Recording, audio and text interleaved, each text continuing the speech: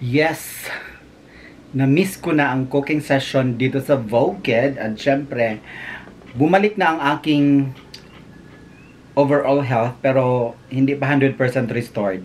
Pero, yes, huwag tayong mawala ng pag-asa. Kasi I know na talagang God always sees the desire of our heart.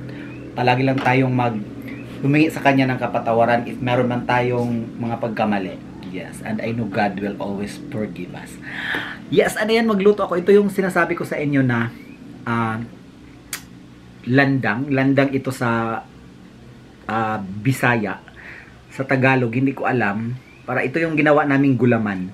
If ever gag uh, isasahog namin pag nagluluto kami ng ginataon. Ito naman, ito yung gabi.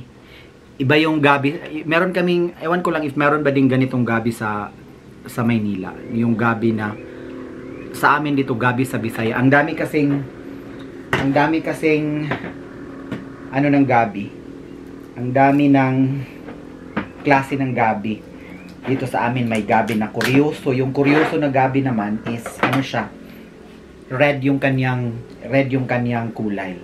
Ito yung gabi naman, di ba kadalasan sa gabi is white. Uh, so ito naman gabi na to, yung mga ganyan, mga batik-batik. So yun yung gabi na tinatawag namin dito gabi sa Bisaya. And this is the best gabi para sa ginataan. Medyo ano lang to, medyo pag nag-prepare ka nitong gabi na to, masilan kasi nga meron siyang dapat kunin pag binabalatan mo siya. Kailangan mo talagang malaman na paano ka dito magbalat kasi pag hindi mo siya nakuha ay makati. Tulad dyan na may makati. May, may mga taong makati. No? Ako medyo mangangati din ako. Eh. Pero yung pagkakati ko, kinokontrol ko siya. Kasi matanda na ako eh. Ayaw ko ng ganong kati. Kati-kati. So, yan po, balik tayo dito. And, yun nga, pag ako naggagawa ng ginataan, simple lang ang aking sahog. Gabing bisaya, kamoti, um, ito, landang. So, ayan po, sa mga hindi alam kung saan galing yung landang, galing siya sa buri. So, yung, yung ano ng buri, yung, yung, ah, uh, tawag doon, yung buri, binibilad, binibilad yung kanyang katawan. Tapos, pagka yan, maano yan, ma, matrabaho yan. Tapos, yun, inaano nila, hinihiwala yung ganyan. Isang kilo dito sa amin is 90 pesos.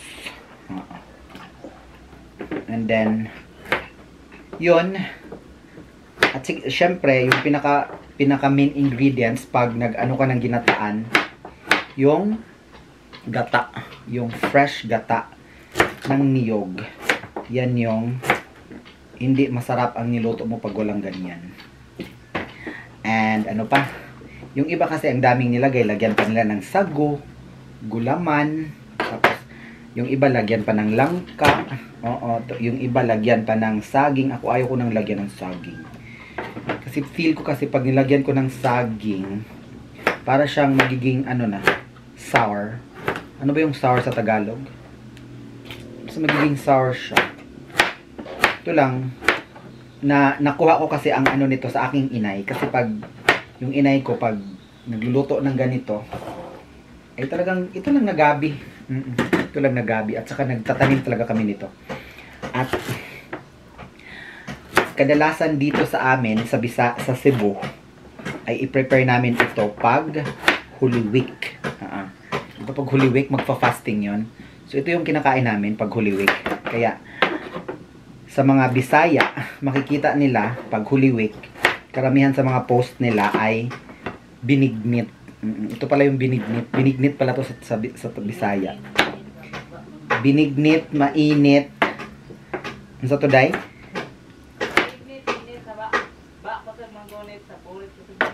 binignit, mainit, sa ba, ba kusog manggunit, sa burit mo purigit. Or mo sidlit. At saka di- dito sa bandang ito, kailangan ko pa siyang dahan-dahanin kasi nga dito yung ano, dito yung na na hulog. Tapos meron pa siyang medyo makirot pa sa ilalim. Pero thank God on the process na siya pag healing. At saka yung ginagamit namin, ginagamit namin na kutsilyo ay galing ito sa US. US today, no? Galing sa US. Tatlong piraso to eh. Kasi binigyan kami ng kutsilyo at saka itong, ayan, oh, made in USA talaga, may nakasulat. Distributed by Walmart Stores Incorporated, Bentonville, AR 72716. Made in USA. Pati itong aming, ano, itong chopping board. Thank you so much, dear, for always loving us. Nagluluto ako nito kasi nga yung time na nagluluto kami nung Holy Week, ay hindi ako nakakakain ng mabuti kasi nga eh, nakaratay ako sa ano, sa higaan. Kasi yun yung time talaga na nahulog ako. Kaya hindi ako nakakain ng marami. Nagluto din dito si Barbie. eh. Doon sa bahay namin yun sa bahay namin sa bayan. Nagluto din si Barbie nito. Tapos kinabukasan, nagluto ulit ang inay ng kanyang sariling version.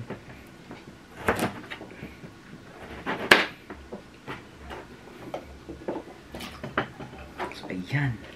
At mamaya, pagkaluto nito, marami to eh. I will share this. Ayan. Medyo sumakit yung dito ko. Pahinga muna tayo. Kasi nga sa sinabi ko hindi pa talaga 100% na restore yung aking ano, yung aking sigla. Kulang pa. So kaya kailangan pa kailangan ko pa ng maraming pahinga.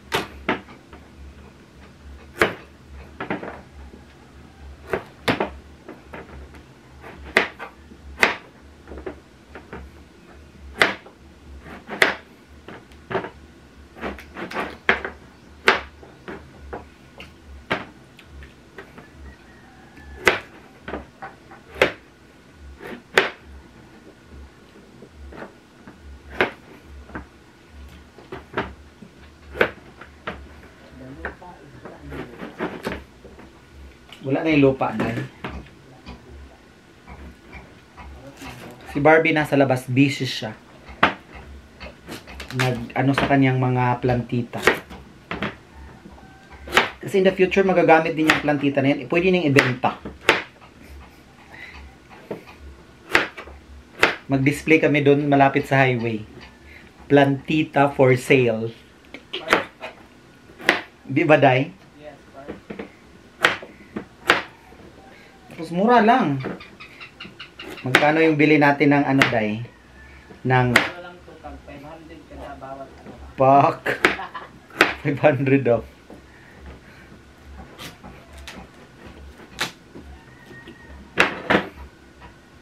Kasi yung lupa niya, doon pa doon pa niya kinuha talaga yun sa kabilang sa kabilang bahay kubo namin. Kasi yung lupa dito ay talagang hindi mo maaasahan. Kasi nga yung lupa dito hindi maganda. Yung maganda lang dito sa bukid namin, dito sa tuktok, pinakatuktok is yung view lang. At saka yung mak- makapagpahinga ka. Tapos yung ay yung hangin very fresh. Pero pag lupa, pag magtanim ka, hindi siya maganda.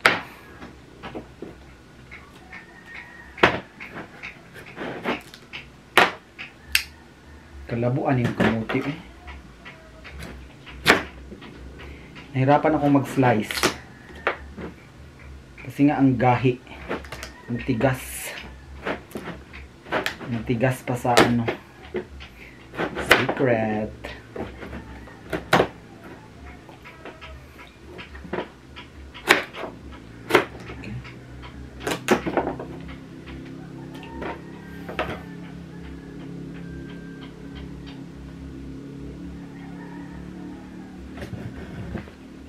Exercise mo na ako ha.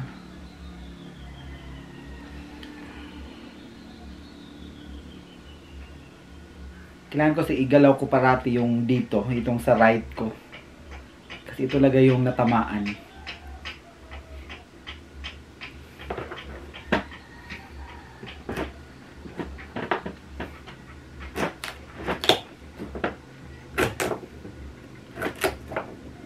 Saka syempre, thank you so much kay Happy An TV at kay Sho na pag-drive sa amin ni Barbie papunta sa X-ray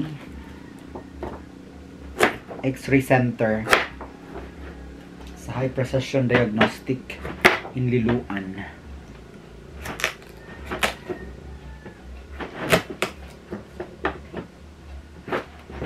Alam na namin ni Barbie na pag pupunta kami ng city, pag pwede na kami pumunta doon, meron na kaming makakainan. Ah, ah. Kasi may karinderya doon na malinis. Tsaka gusto ko yung ano nila, yung timpla nila. Mm, Yung sa ano, sa may ah, in front, malapit sa Death Strong, sino yung mga tagaliluan, merong karinderya dyan na talagang si Barbie hindi siya hindi siya hindi siya ano eh hindi siya palaging nakakain ng baboy. Doon lang si Barbie kumain ng baboy na crispy pata. Ay, hindi yung crispy pata. Yung parang lechon. Lechon kawali pala. Naubos ni Barbie. So, si Barbie kasi yung yung taste niya is talagang gusto niya yung taste niya is talagang pang ano eh pang yung pang negosyo talaga yung taste niya. Kaya mag ano kami? Mag karinderya kami. Very soon.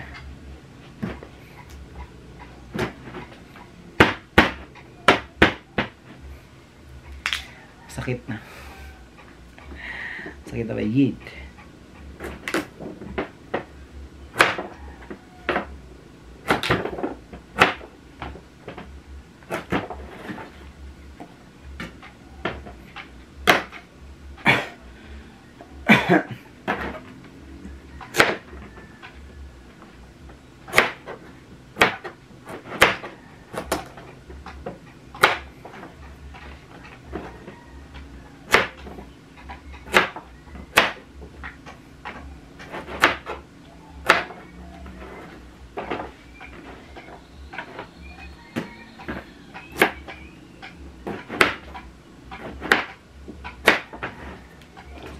So, ayan, tapos na.